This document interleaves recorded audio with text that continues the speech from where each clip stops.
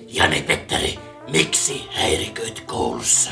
No, kuule Faja, se ei kuulu sulle. Mitä? Mulla on oma elämä ja hankissakin kuule oma elämä. Jani Petteri, tuot häpeää koko suvulle. Faja, Tuomitsen sinut viikoksi nurkkaan häpeämään. mitä?